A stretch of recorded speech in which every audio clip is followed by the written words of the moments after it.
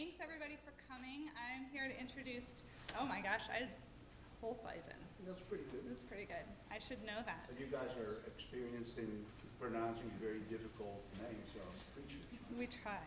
Um, so I'll read his bio and then I'm going to say a couple things of my own. Um, he says that in 1980 he found- Art Studio.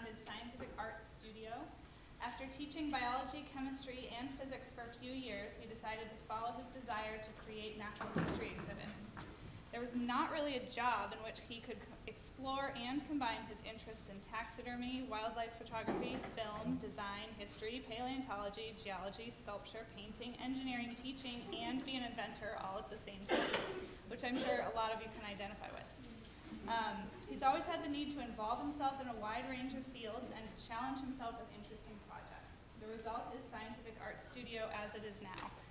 During the last 35 years, under the name of Scientific Art Studio, he's been able to take on a really wide variety of projects, from natural history exhibits to special effects for motion pictures and television, from museum taxidermy to mechanical costumes for a Vegas show, and the restoration of artifacts to the design of rock, so- rock show stages. The source of his inspiration and the focus of his interest has been always nature in its broadest embrace. It gives him great satisfaction to reconstruct extinct animals and plants and to work with scientific specialists and to dabble in whatever draws his attention, which sounds like the perfect job to me. Um, I met Ron doing an outreach fellowship in Sitka, Alaska in 2013. Um, I was up there to do some research and um, practice my outreach skills, and Ron was reconstructing a killer whale from a skeleton of a, a baby, basically, that's yeah. stranded. Um, and so he worked with the high school students to make this really awesome reconstruction of this whale, and then now it's hanging in the, um, in the science museum there. And it was really neat to work with him and go out in the field with him. And then when I came back to California, I was able to visit his studio, which is awesome, really interesting stuff. So I'm looking forward to hearing what he has to tell us today about combining science and art. Thanks for coming.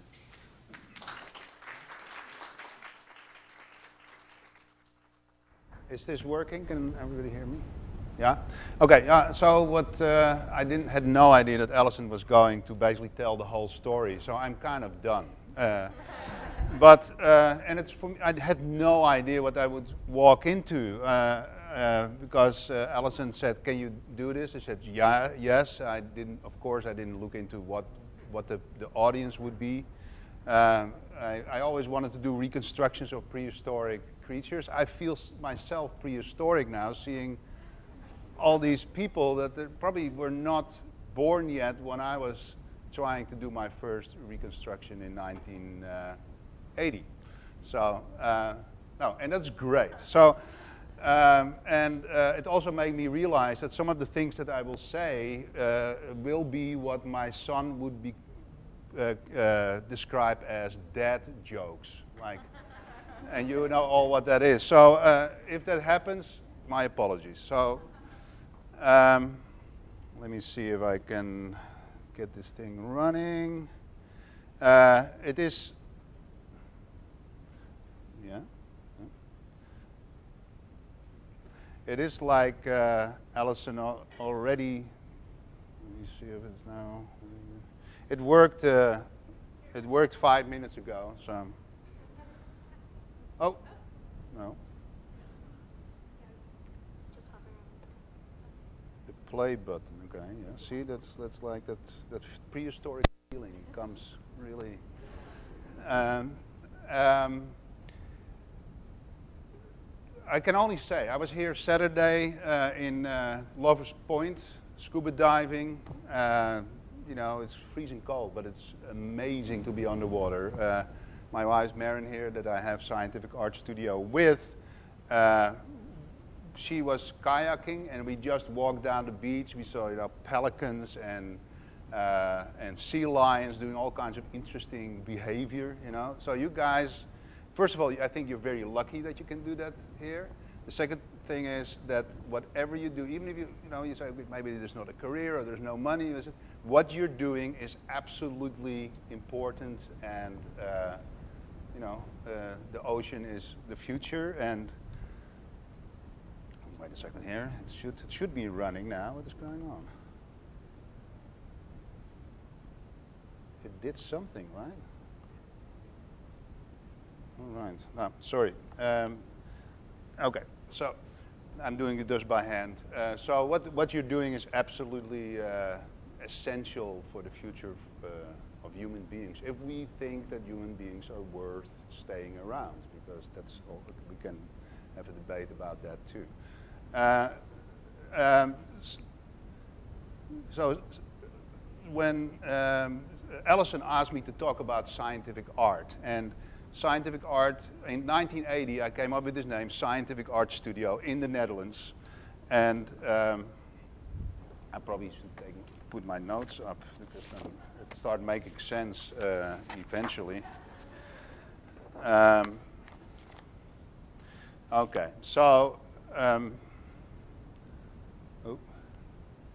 so um, yeah, I, I, just wanted to uh, bring to your attention that I'm from Holland. I grew up in Amsterdam, um, so that means that uh, anything that sounds stupid or silly that uh, has a good reason. So um, uh, the our our my company uh, which was started as basically as a hobby, uh, started in the Netherlands. And uh, since I have always been a very contrary character because I grew up in Amsterdam, 1960s, uh, people uh, always had were against something or uh, came up with all, all kinds of alternative uh, ideas of how to do things that influenced me strongly.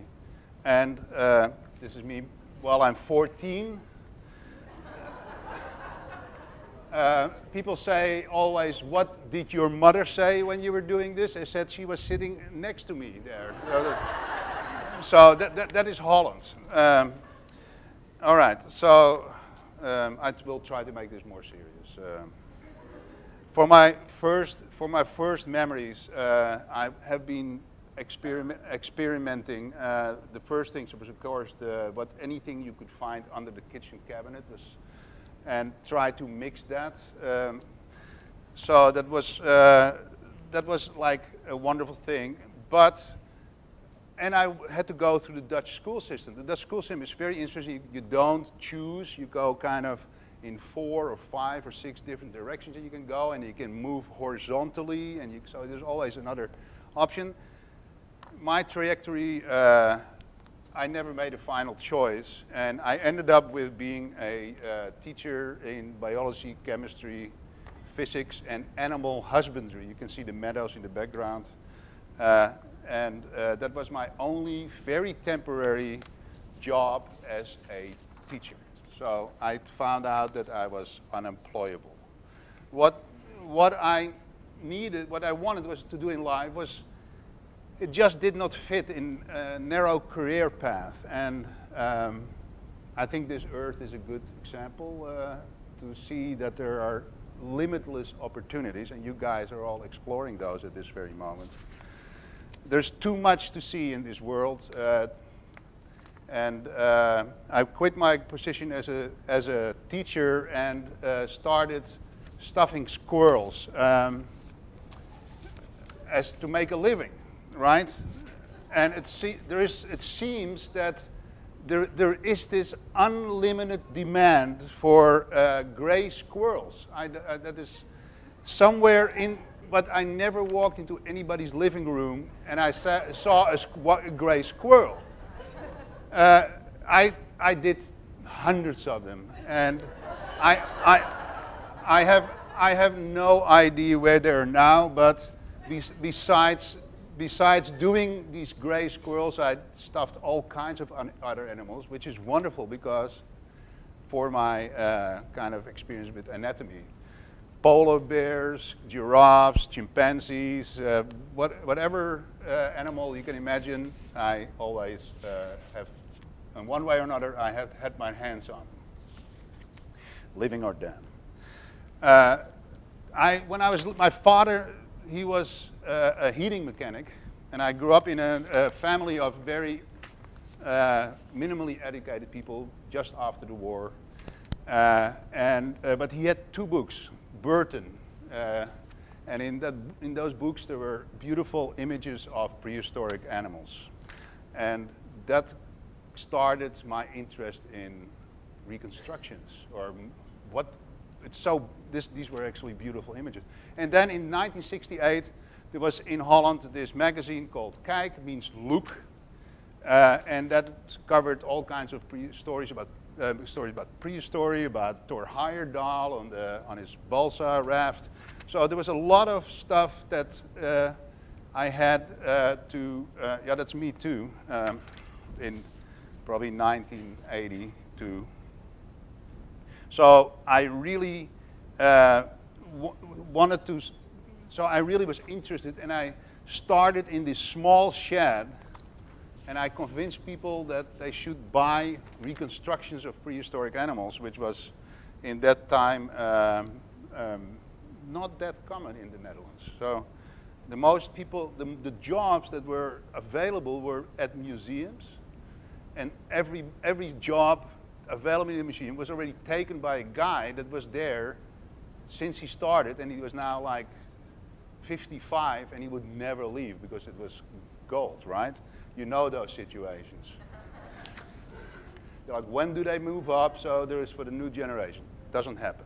So I started my own uh, business, and uh, I and when I started it, I had no idea what how much trouble I would get into, just like I didn't know when Allison contacted me what, what the trouble was that I would get myself into by starting to study what it means to do scientific art. Um, putting, putting science and, um, and art into the same bucket, as if these two would, you could mix those in 1980 was actually pretty ballsy. At that time, uh, with the, fact that I had no degree in science and also never felt it necessary that I would go to an art academy to become an official artist, uh, and I, calling my own company Scientific Art Studio was, um, yeah, that was beyond ballsy. It was actually completely reckless. People would uh, tell me, why do you use an English name in Holland? We're in Holland here. Why don't you call it wetenschappelijke kunst werkplaats. um, nou ja, you know why.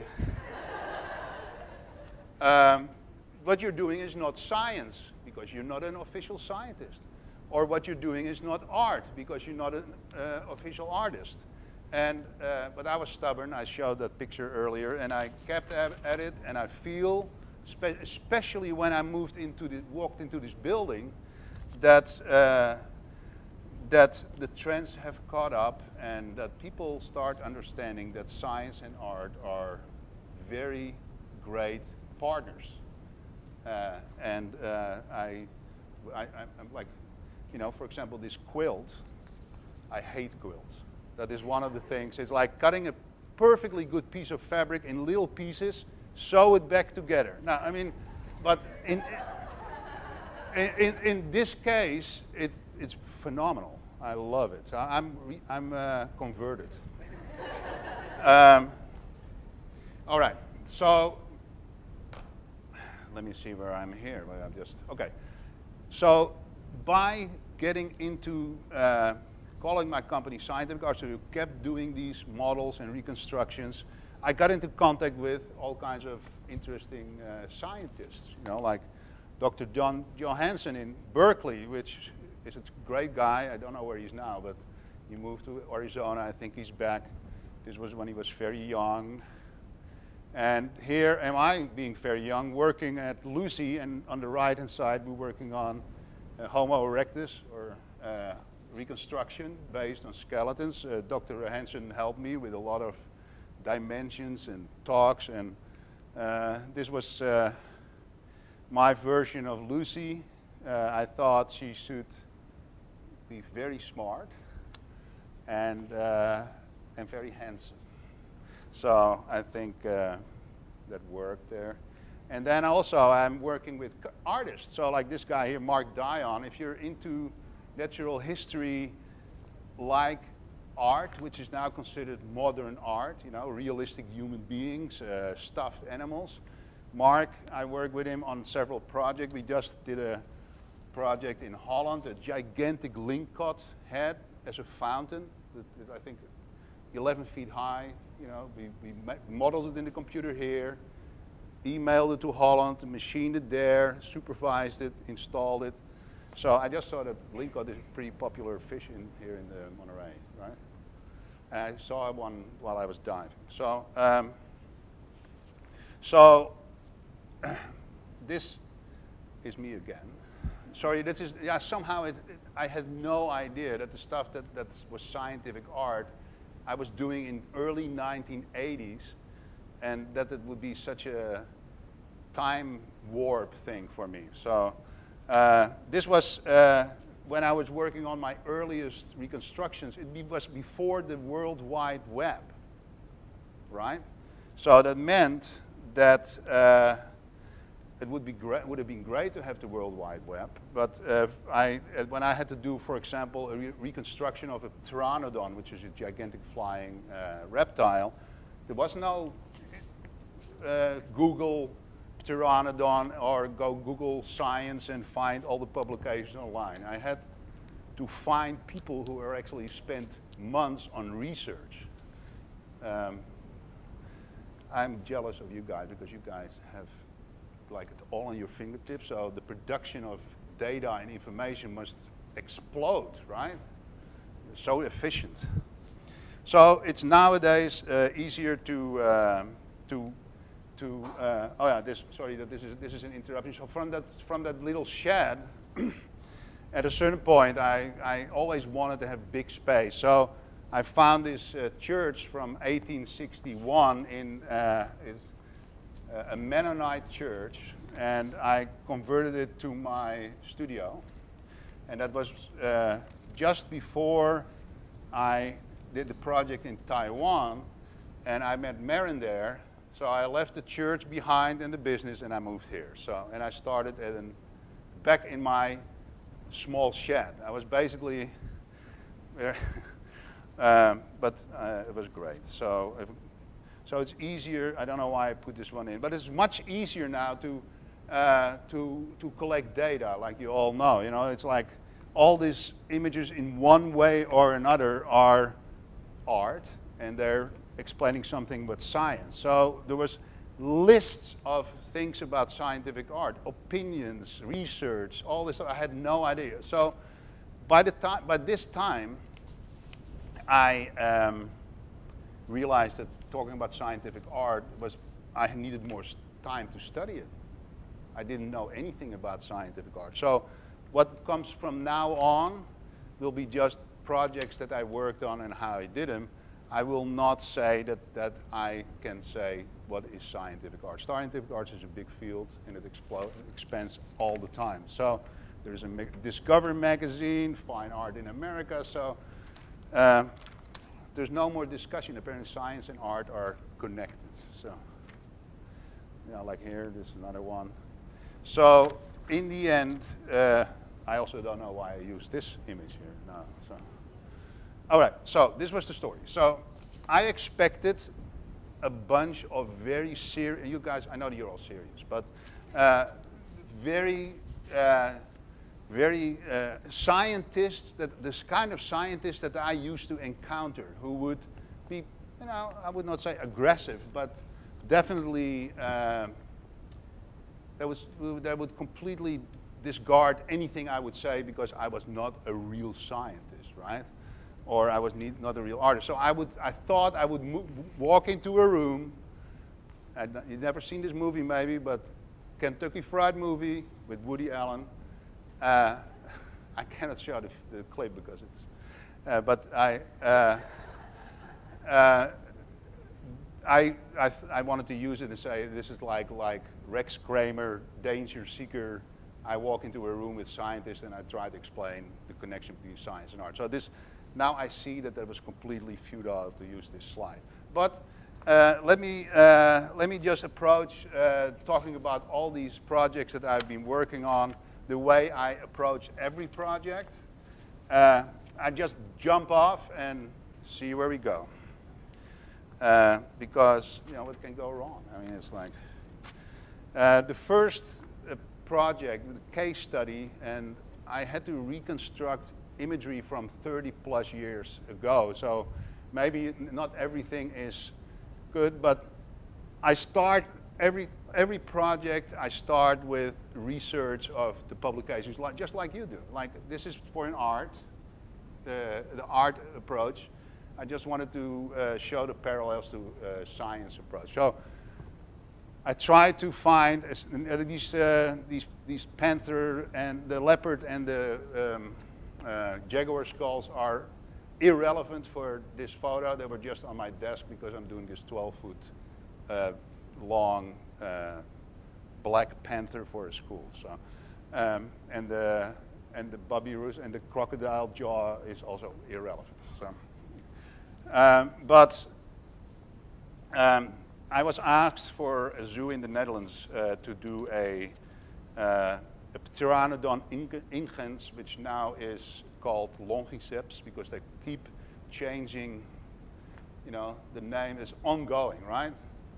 That you think an animal is called this, then somebody discovers it's family of another animal. So it's, okay, ingens. It's about 20 feet wingspan flying reptile. Uh, and since I did this sculpture in the 80s, a lot of research has happened. There are like hundreds of fossils have been found. But um, this was originally, this animal was originally discovered in um, somewhere in the 1800s by Marsh, and I, I found the publications about that. Um, in, uh, in the 70s, a bat expert and an aeronautical engineer went to came together and start uh, thinking, how can these animals fly? 20 feet wingspan, how is it possible? So they started applying all kinds of uh, math to it. They did mock-ups and models, uh, very scientific, and I used that information as well. I went to Munich, where I was a specialist in this uh, specific creature. I, this is not what I did. This is in Munich. This is done by uh, the team of Professor Wellnhofer, who, is the, who was studied Archaeopteryx. And, uh, and I talked to him and I you know, got his impressions and ideas. And this is from those, uh, the bat and the, the aeronautical uh, engineer. Uh, they did all these uh, wind tunnel tests. And so based on that, I evolved this life-size model in which we had, I had also the help of a friend of ours who was a geology, doc, doctor in geology. Guy drank and smoked and told amazing stories. So that was, that was like exactly the old style scientist that you want to meet to gather good information. So uh, he had discovered this uh, in, in a box of, of uh, rocks uh, a shoulder part and two vertebrae of an, a, a flying reptile from Brazil. And he was able to reconstruct the skeleton, a full skeleton of that species that he named, Santanadactylus brasiliensis. And he was so nice to share all that data and information with me and cast of the bones. And so I used that to create this uh, life, lifelike reconstruction of a pteranodon. And the unique thing was this had to hang in a greenhouse with living crocodiles in the water there, where Barbie stand next to. And uh, it was like sprayed by water, and it was, so it had to last. Uh, and it had to be light, and it had to be so.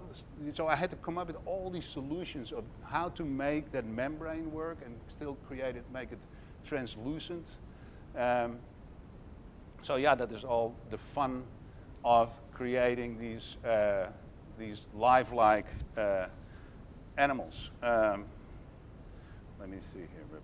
Is there any questions? I mean, in the meantime, you, you, see it like, oh, I, uh, this has nothing to do with ocean, of course, but uh, these were flying in, in, the, in, the, in the, the, the inland sea of the United States. That, that's why they are preserved. So there is an ocean connection, right? I was wondering what materials you use to uh, make that and what methods you use to shape the Yeah, okay. So, um,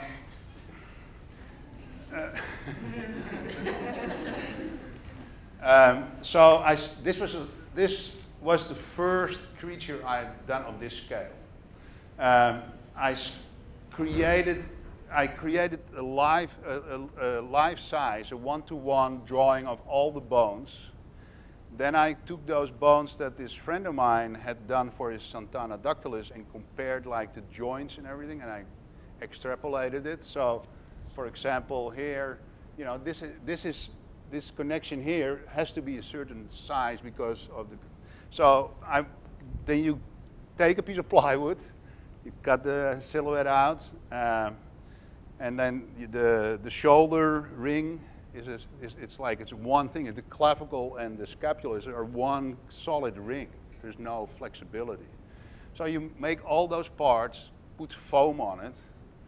At that time, polyurethane foam, two parts, pour it, you carve it, and then I sculpted the, the surface with wood putty. At that time, I thought it was a brilliant idea. I would never do it again because the fumes make you really feeling funny all the time. So, uh, and, and that was when you still had putty with solvents in it. It was like, um, and then I had to make, I would sculpt one side of the wing because it, this thing didn't fit in my shop.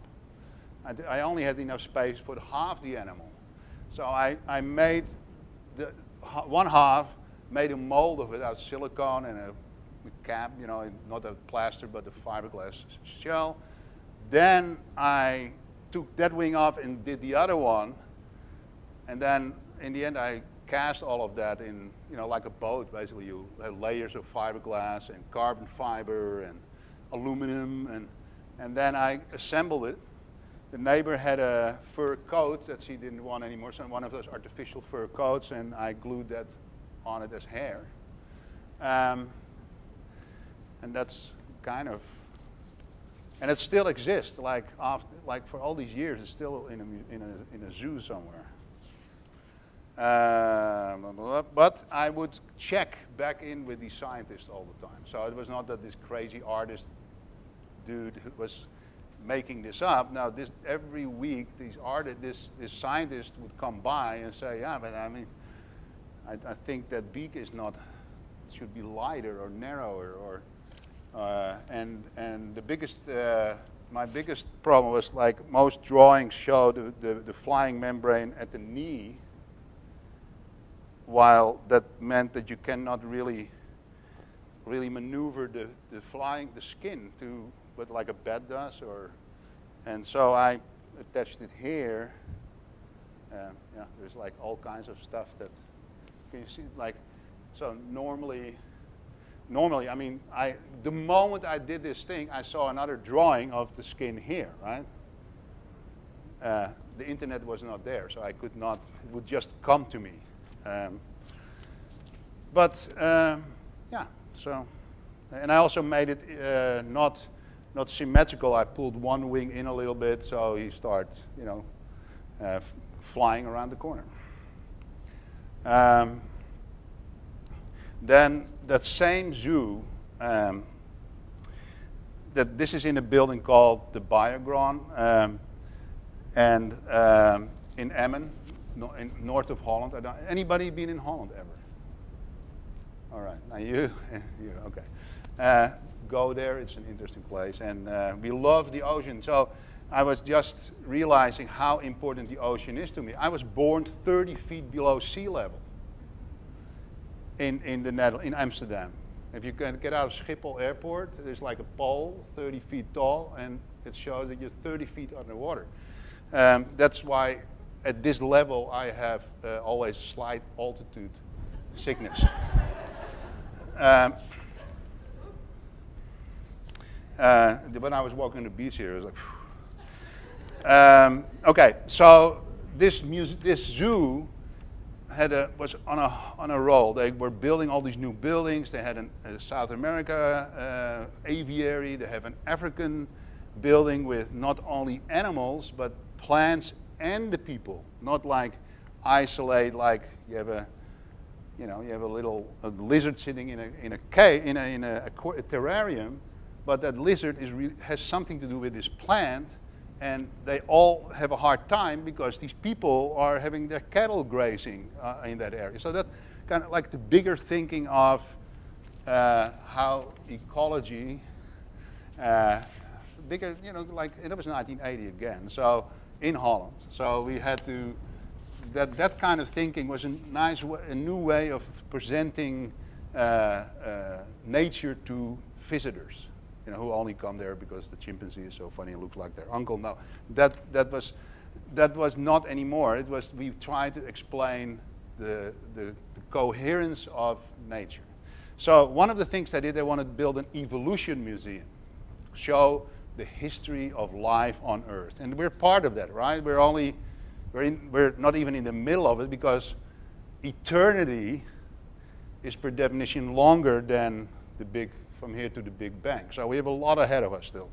Um, they wanted to do an evolution museum. The, the problem was there were the local zealots didn't want it to be named Evolution Museum.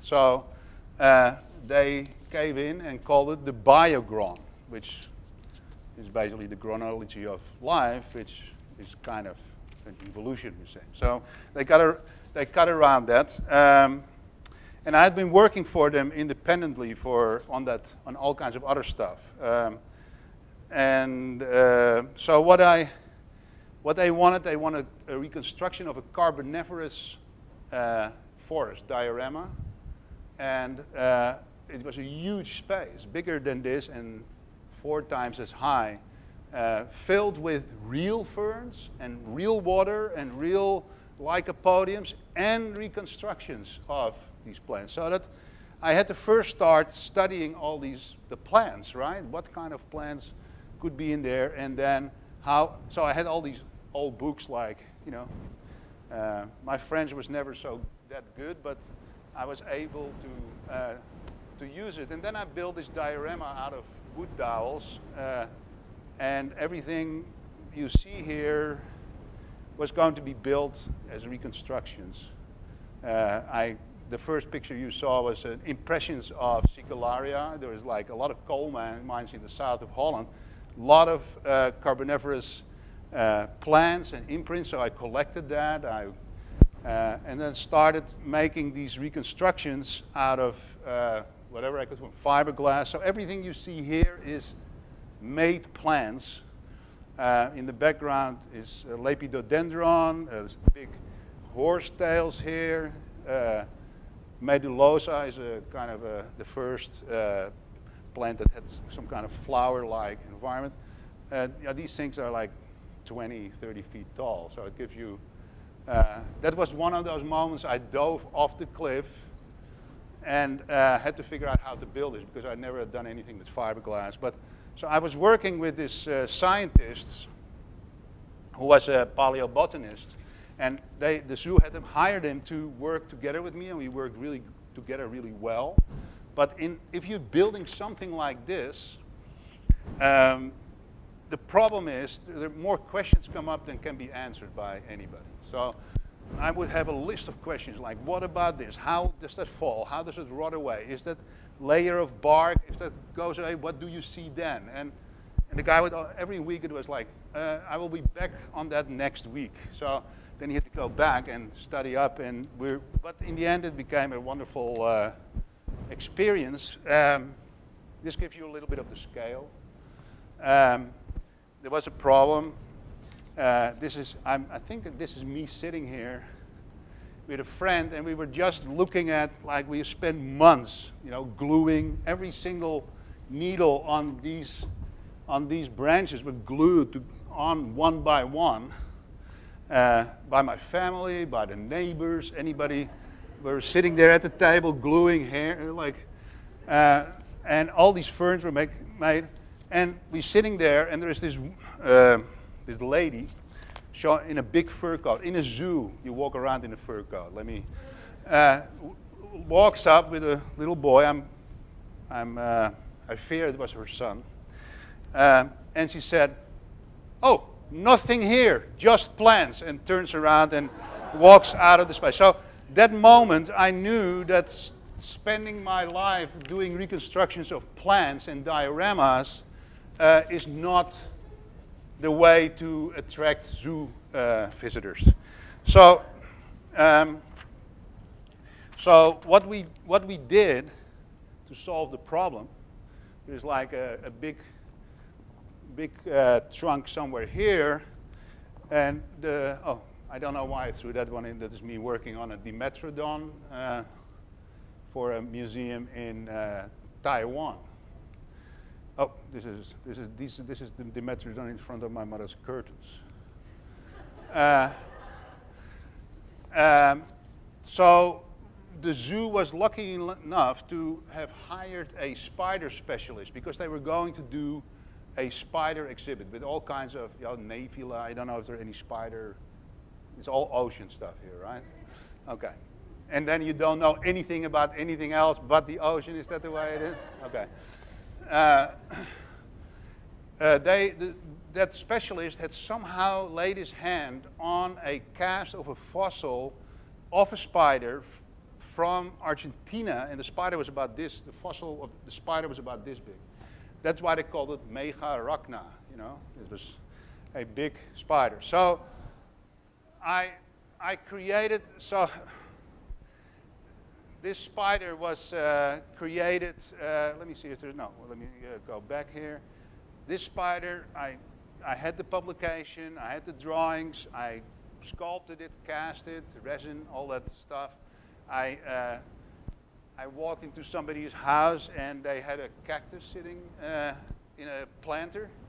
And I said, that cactus is dead. I said, no, it's not dead. So I pick it up and it was completely hollow. You know how that goes. And you think your cactus is perfect and then it's dead for years.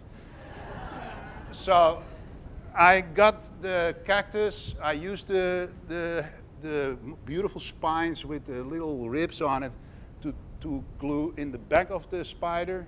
Uh, I used thousands of little insect needles to put hairs on the legs, and we put that in the uh, carboniferous diorama. The whole effect changed. Suddenly there was this spider there, there was a focus, Peter's, people loved it. I cannot believe how much money was thrown at that spider into the diorama to make it move. It's like gold mine. Um, I also did uh, Arthropleura, that is like a big, uh, like millipede, and there's still discussion if that is that an aquatic animal or a land animal.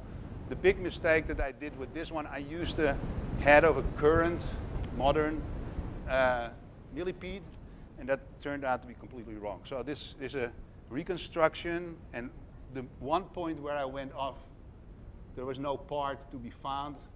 I did it wrong. So I just want to let you know this, like, that is okay as long as you let everybody know it is wrong, because uh, there are too many scientists that have a hard time admitting that they were wrong. So, oh yeah, this is like six feet. And what I, what I so the same technique, we sculpt it and then cast it, and then we, I try to create translucency by, for example, cast all the feet in, in um, dental acrylic, clear acrylic, like what you use for your teeth, with a colorant in it.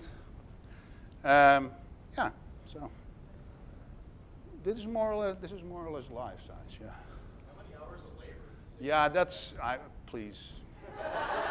I mean.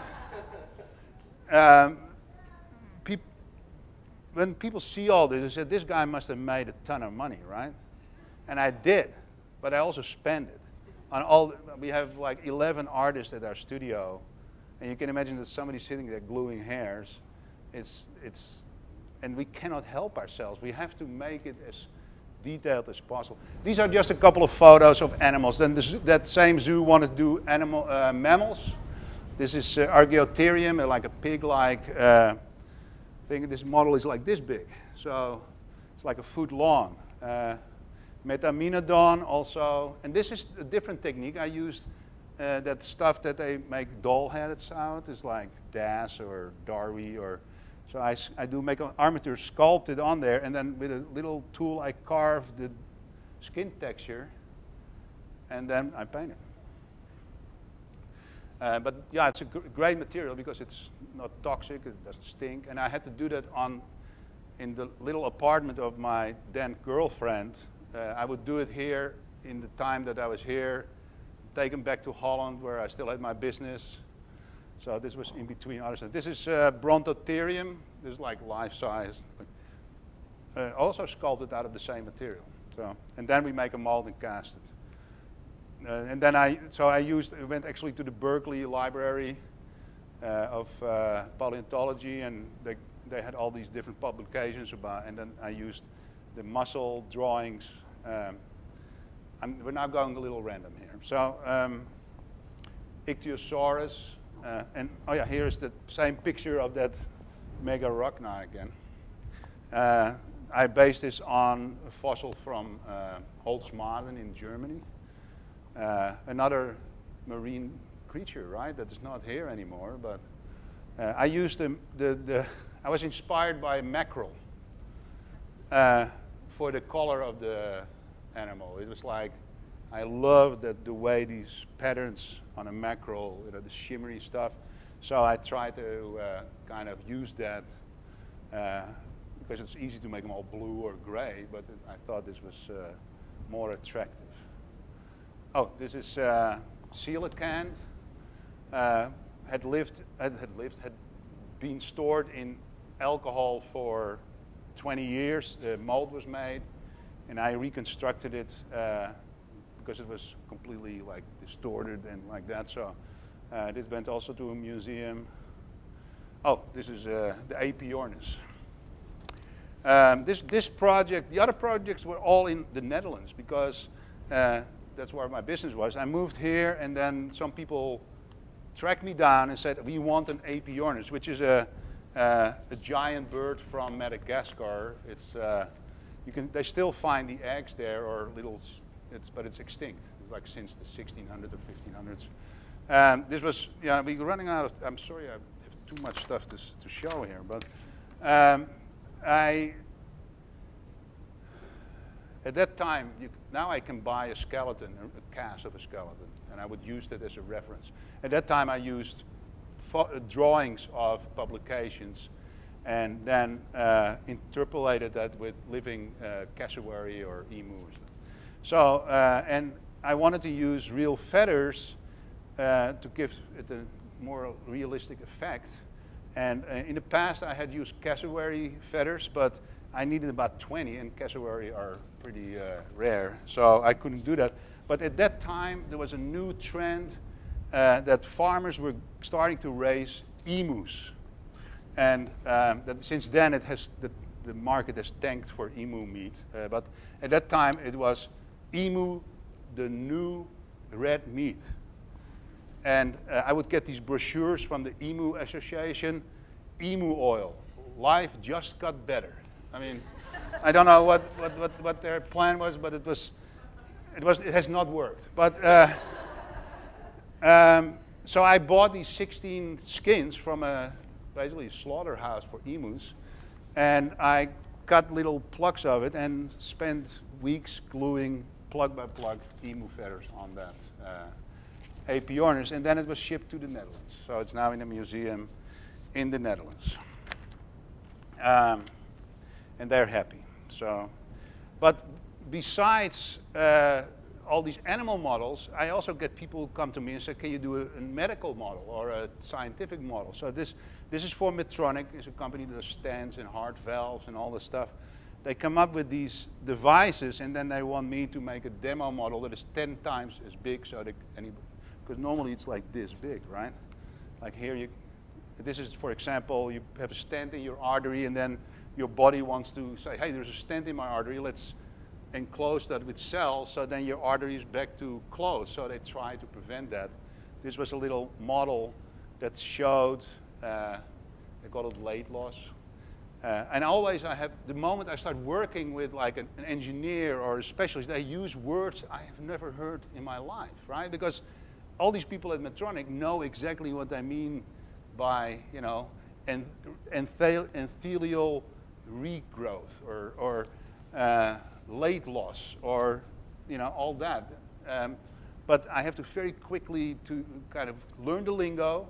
The same with scientists. You have to kind of learn the words they use and the abbreviations. and then work with them to, so they understand what they want to show. Here, they wanted to just show you have uh, your artery is all clogged up. You put the stent in, you expand him, opens the artery, but then you get this regrowth. And they put uh, regrowth uh, inhibiting chemical in that stent so that would not happen. So that was the story. So, and here you see, uh, here is a real stent here, and this is the model. Uh, so I had to figure out materials to see if it has the same flexibility when it's big compared to the little one, so that salesman can show, look how wonderful ours bends, uh, and it's not like a piece of steel staying. So that is all kinds of very interesting stuff. Allison, where are you? Okay, this is where Allison, uh, I met Allison in uh, Sitka. It was fun. We were on boats and all that stuff. Sitka, they had found this dead killer baby, killer whale baby, and they wanted to have that. They had a skeleton of a killer whale, uh, yeah, killer whale, orca, uh, in their museum, and they wanted the baby as a model. But they already, of course, these people there had, had been already cut it up in little pieces. So we could not do a mold or so. So I said, send me what you have. So they sent me, you know, the fluke and, uh, okay, let me, the fluke and the head and the, the fins, the flippers. And I, in order, so they were all frozen, shipped from Alaska, made the molds, put them in the freezer, waiting until I had to send them back. And I, at least I had the reference material for the parts that we had. And from there we extrapolated uh, in the computer the, the whale, the baby, again, and then I machine, we have a computer controlled router, so we routed pieces, so at least we're in the, the right realm of dimensional correctness. Then I hand carved it to, uh, to look like a baby killer whale. And then we put a primer on it, and then Marin here uh, painted it because we also took a lot of reference photos of, uh, of uh, the colors. Uh, so now this is the way it hangs in uh, Sitka. So um, this is here in the Monterey Bay Aquarium. Um, couple of years ago, I was contacted, can you do a couple of uh, jellyfish models? And I love to do uh, something like that because the translucency of, and the, basically you have creatures that are invisible underwater, and then you have to make a model of it. Like, how do you do that? So um, yeah, I, I, I, found this poster in, uh, during my internet research. So I, and this is a very blurry photo of Periphylla, but you guys know that, right? That is uh, okay. Um, I did stu I study it. I went to MBARI, met with uh, Steve Haddock. He showed me in little jars real animals. Uh, it's amazing how few specimens there are actually in jars that you can look at, right? It's like there's no collecting anymore going on. There used to be that whole expeditions would go to the jungles of somewhere and come back with all kinds of interesting species. No, you can with a swab of DNA, that's about it. So all this exciting stuff, uh, I, I'm, maybe I'm completely wrong, but no, there's no money anymore for expeditions. Okay. Uh, so I did a lot, you know, there's like I did hundreds of sketches to kind of figure out how do all these parts go together. I contacted specialists. I said, yeah, I'm special, I'm, my specialization is the speed of the little harpoon that jumps out of a tentacle of a jellyfish, the speed of that. I know all about it, but I have no idea how the water flows through this thing. Or, and if you make a model, you have to know all of that because otherwise it's not correct. So uh, what helped was this guy Haeckel in the eight, late 1800s, scientific artist. And we don't, do we have to say more? This was a scientific artist, right? Uh, I was, uh, he, the way he did these drawings, this explained how all this stuff went together because you cannot see it on a photo. You cannot see it on a, a detail. So I used a lot of that and I, uh, and this kind of stuff, explaining what all these parts were. There are, there are parts of jellyfish. It's the only. There's only one jellyfish with one organ, and that, that organ has a word that is only for that one organ. So, I mean, it's like that specific, right? Um, so, and then we started modeling the parts based on what we knew and casting it in rotational. We built a rotational casting machine so we could do hollow, clear casts. And then the, the gonads are in there and all the internal organs are in there. Um, and I had these special domes blown so they had the right curve. And then these are acrylic rods that I ground down and heated up in front of a heat lamp so we could, we could, uh, we could uh, bend them any way we wanted. This is bentocodon. Um, I saw beautiful pictures and in the background, uh, what is that? Does anybody know? No? It's uh, Physophora uh, hydrostatica. Uh, so yeah, this, so all these, these, so this was installed in place. Uh, this Maren is here painting a uh, lion mane jelly uh, that was supposed to be a bench. So we had to cast it in soft rubber, and then she painted it on the inside. So this is like uh, like this big. I can tell a whole story about how we had to make that. So this is a very uh, Chironex, uh, the box jelly without its tentacles yet. And here are at least three of them. Um, I just love those. Yeah. Um, the last thing I want to say, we have five minutes. Uh, let me see, because I'm completely messed up here. That's the problem. You cannot let, let me. So the last thing I would like to say that uh, our studio, uh, our motto is uh, Natura, um, Artis Natura Magistra. Uh, nature is the teacher of art, and um, I believe I'm convinced that nature is also the teacher of science, of course. So uh, if we want to discuss science, art, I think if they're not brothers, they're at least very closely related, especially in the observation, the processing of the data, and how you express it. So that's about it.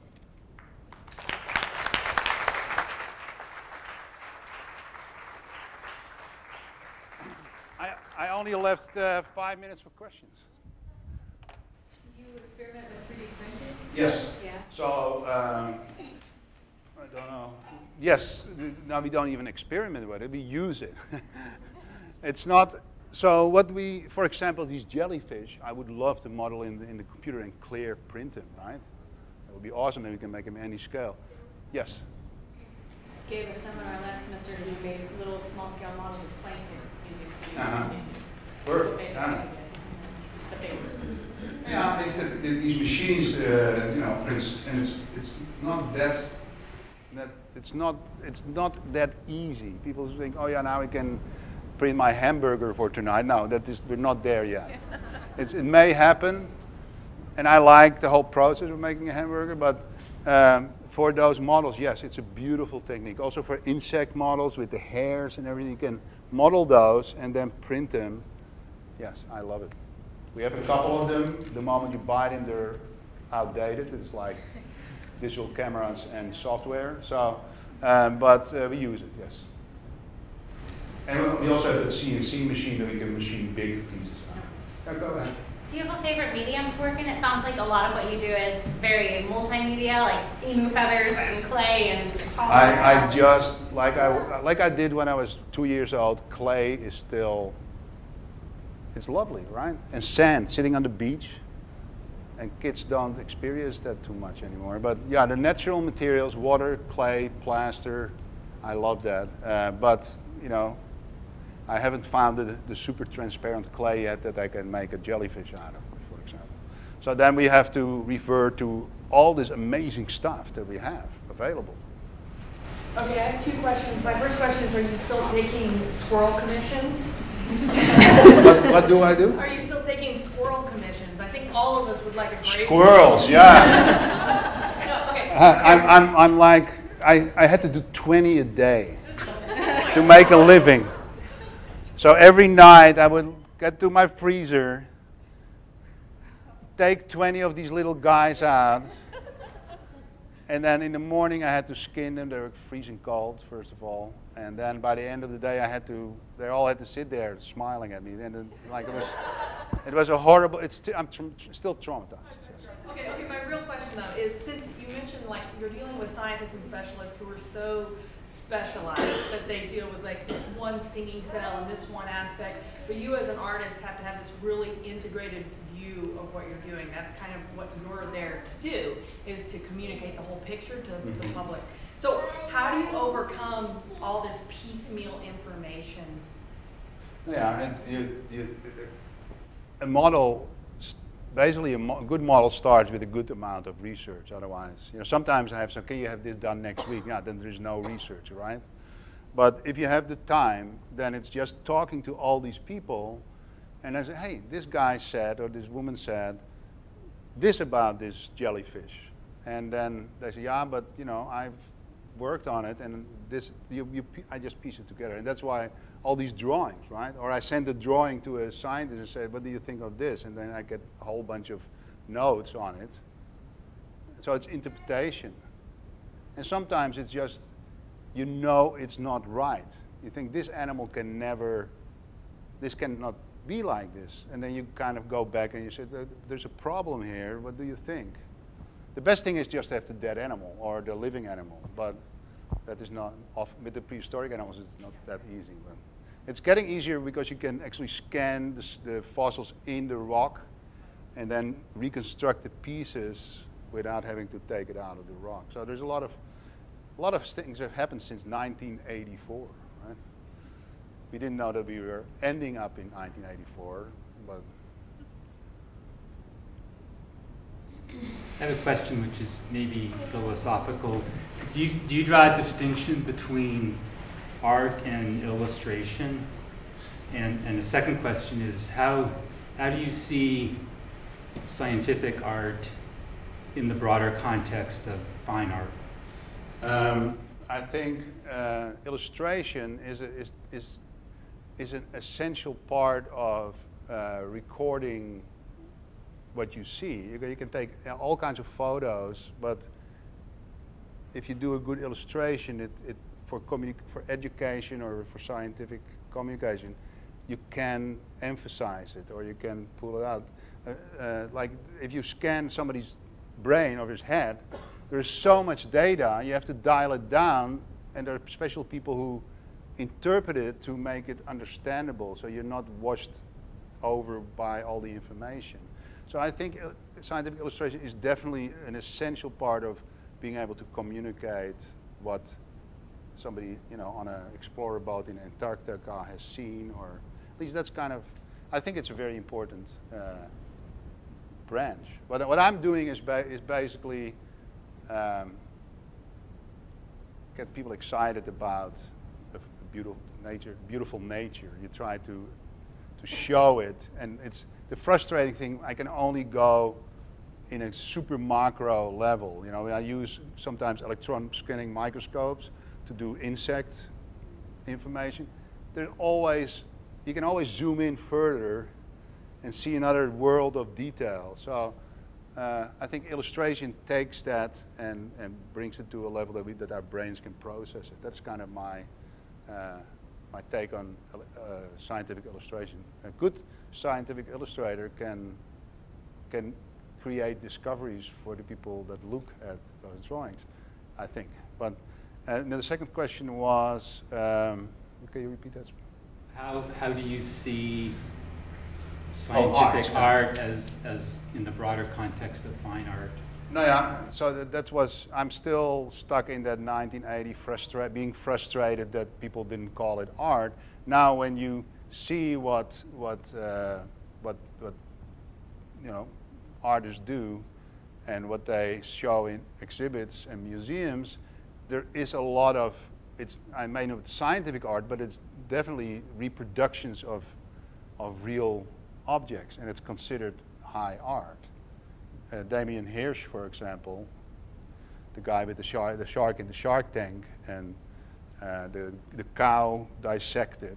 That is that guy is the most well-paid artist in the world, I think. At this moment, yeah, the art, the discussion about art is always.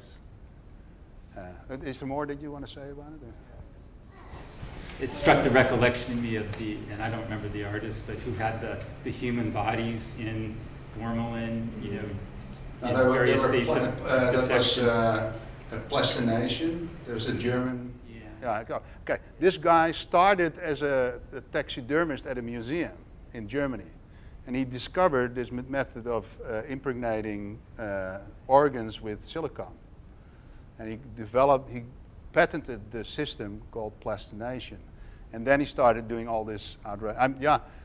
Um, I don't. I, from my gut says it's not art, but uh, that's that is just me. So Well, but the fact that it's exhibited in an art museum and, and people come to see it as art rather than as a science lesson means, means yeah, something. yeah. Uh, it's art when, when when people say it's art, right? It's like uh, it's also that uh, uh, the emperor was walking around with no clothes and.